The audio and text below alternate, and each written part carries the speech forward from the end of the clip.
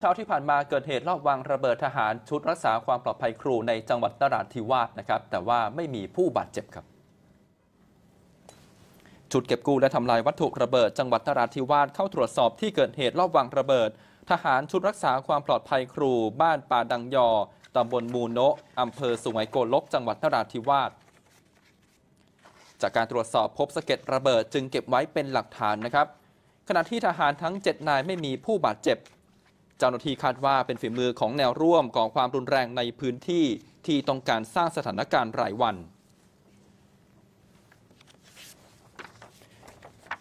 ขณะเดียวกันมีการเพิ่มกำลังเจ้าหน้าที่ตามด่านในเขตเมืองนราธิวาสนะครับ พร้อมตั้งด่านตรวจบนถนนสายหลักและสายรอง ร้านค้าและแหล่งชุมชน เพื่อเฝ้าระวังพื้นที่อย่างเข้มงวด